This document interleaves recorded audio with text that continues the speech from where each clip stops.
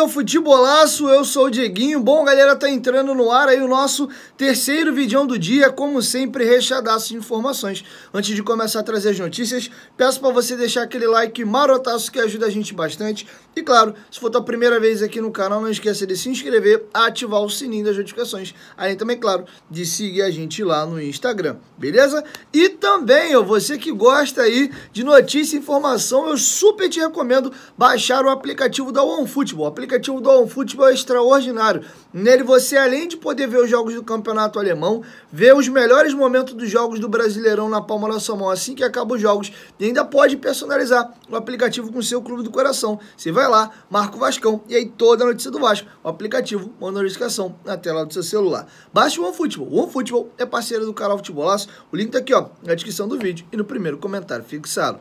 Bom, galera, notícia exclusiva apurada pelo companheiro aí, Lucas Pedrosa, em conjunto com o jornalista também Vene Casagrande, dois jornalistas muito sérios, extremamente competentes.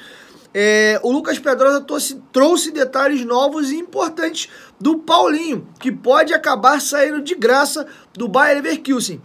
A relação entre o jogador e o clube alemão azedou de vez. Ele já recebeu proposta recente, inclusive, do Palmeiras e do Atlético Mineiro, que não foi à frente, porque o Bayern não aceitou a forma ao qual os clubes brasileiros fizeram proposta por ele. E a 777, ó, tá de olho bem aberto na negociação. Inclusive, agora já assumiram o clube e podem tomar as rédeas da negociação. Lembrando que Paulinho, recentemente, em suas férias, visitou o Vasco e foi assistir um jogo da Série B lá na nossa colina histórica. Eu vou deixar com vocês agora é, o tweet do companheiro Lucas Pedrosa com muito detalhe aprofundado. Eu vou narrar para vocês aí, presta bastante atenção. Exclusivo o futuro e os bastidores da trajetória de Paulinho no Bayer Leverkusen com quase retorno para o futebol brasileiro, o descaso dos alemães e a mudança inevitável de áreas em 2023.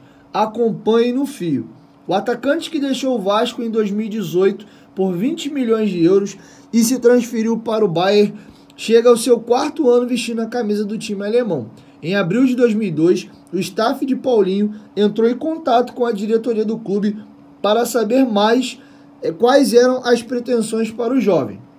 Vale lembrar que em julho de 2020, Paulinho teve uma lesão grave no joelho e retornou 100% aos gramados em maio de 2021. De lá para cá, não sofreu mais com lesões e melhorou seu condicionamento físico para competir em alto nível. Não à toa, foi campeão olímpico com o Brasil. O Bayern não garantiu novas oportunidades para Paulinho e, com um ano de contrato pela frente, não sinalizou uma renovação. Diante desse cenário, o jogador deixou claro que gostaria de sair para jogar. Os alemães deram um sinal positivo para que ele pudesse procurar um novo clube. Paulinho seguiu à disposição e ajudou o clube na classificação à Champions. Na janela, o atacante recebeu diversas sondagens e algumas propostas concretas. Na Europa, as propostas foram abaixo do contrato atual e de pouca ambição esportiva.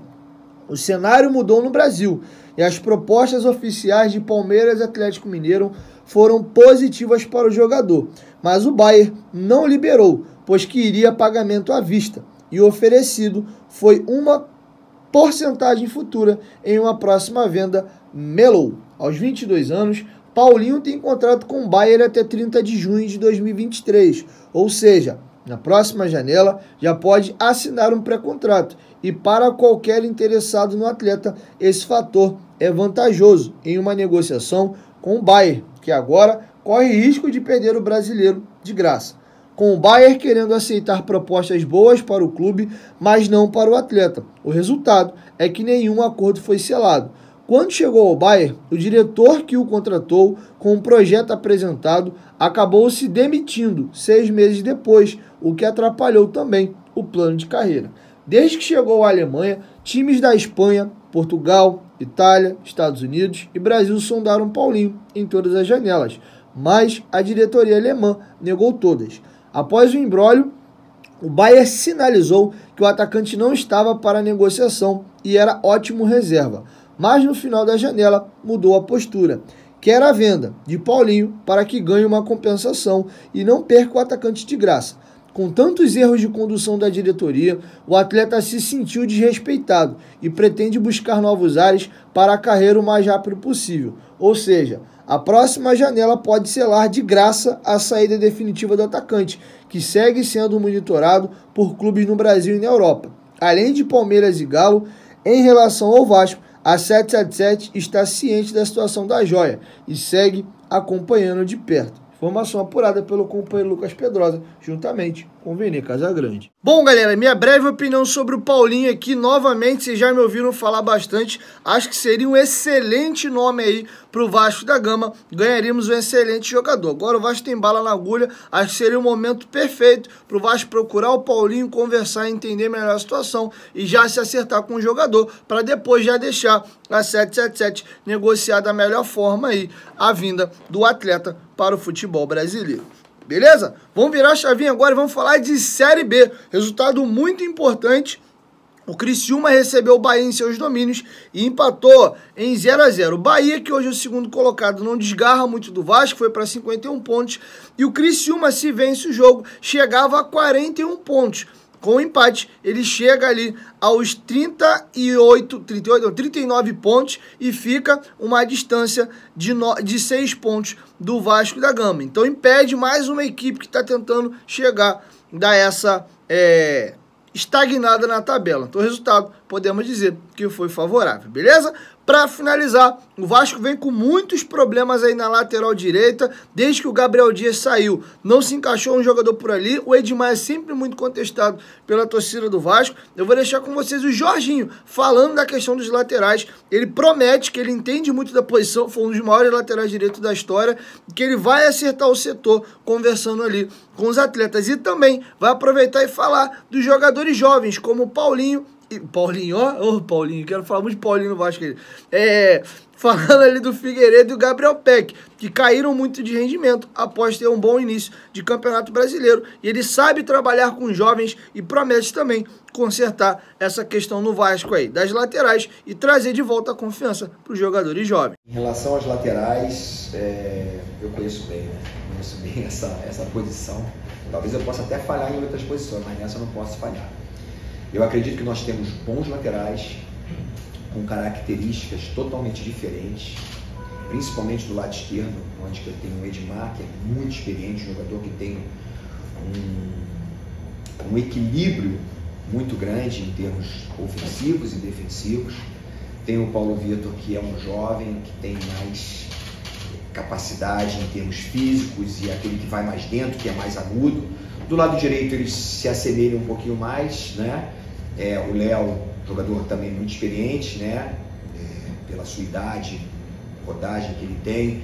O Matheus, ele é um pouco diferente, como eu falei, do lado esquerdo. São jogadores com um pouco, uma característica um pouco parecida, mas são dois jogadores, são quatro jogadores assim que têm boa técnica. Isso é muito importante. E tem a questão que a gente chama de das virtudes do bom lateral. A questão é como usá-los. Se você pega um jogador, por exemplo, que não tem tanta velocidade, que não é aquele cara muito agudo, você tem que ter um jogo mais apoiado pelo seu lado, porque ele não vai ser esse cara que vai ultrapassar como eu era, que ultrapassava o tempo todo, né? E se você tem um jogador como o Paulo Vitor, que é aquele cara agudo o tempo todo, você tem que trabalhar justamente ele dessa forma, você dá o corredor para ele. Então, é, eu acho que é, da forma como eu usá-los, eu tenho certeza absoluta que esses jogadores vão subir de produção.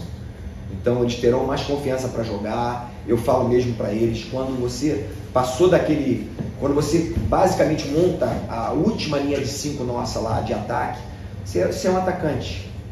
Não é que ele vai esquecer de voltar, ele tem que voltar por dentro, mas naquele momento ali, a função dele é justamente é chegar na linha de fundo, dar um cruzamento, seja ele para trás, é, um passe para trás, uma cavadinha.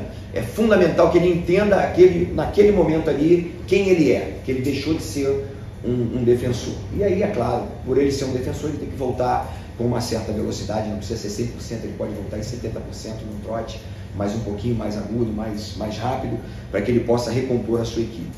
Né? E em relação aos jovens, é, é muito importante que eles acreditem. O torcedor precisa acreditar que o PEC é um potencial enorme, que o Figueiredo é um cavalo, literalmente falando em termos de força e de capacidade. Então esses jogadores, eu tenho certeza, eu, eu ouvi dizer né, que o, o DG, o Douglas Luiz falou, né, falando, falando sobre mim, né, que eu sei trabalhar, porque eu, o DG não tinha, não tinha sido mandado para mim profissional na época lá, é, que eu assumi o Vasco em 2016, 2015 para 2016. E, e eu pedi para treinar, eu faço muito isso. Pedi para treinar com a Sub-20 e quando eu olhei o DG eu falei, esse é o cara para substituir o Júlio de Santos, que o Júlio de Santos, excelente jogador, excelente profissional, mas não pisava na área e não fazia gol. E até mesmo sendo grande na bola aérea, ele não era muito forte. E eu falei, esse aqui é o substituto. E eu lembro até hoje que eu falei do Eurico Miranda, ele me chamou meu filho.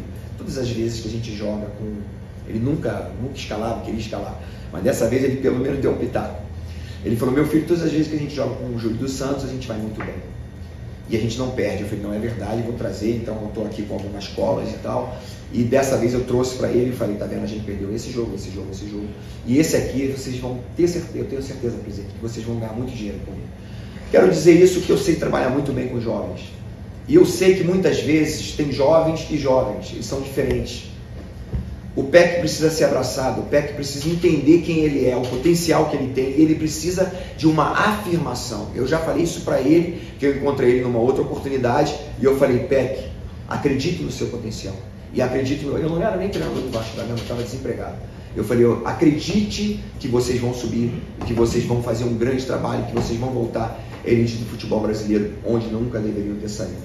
E isso eu falo novamente para ele. Então, seja o PEC, seja o Figueiredo, ou qualquer um jovem que venha trabalhar com a gente, que nós vamos fazer provavelmente muitos trabalhos aqui para a Sub-20. Acreditem em vocês. Esses jogadores não estão aqui por acaso, porque eles têm potencial. O PEC não está aqui por acaso. O Figueiredo não está aqui por acaso. E pode ter certeza que eu estarei usando esses jogadores e eles vão subir de produção. Bom, galera, é isso. Essas são as informações que eu tinha para trazer para vocês nesse vídeo. E amanhã, próximo da hora do almoço, eu chego com mais informações, beleza? Um, dois, três, futebolaço. Tamo junto, família. Qualquer momento, de volta, tamo junto. Valeu, fui.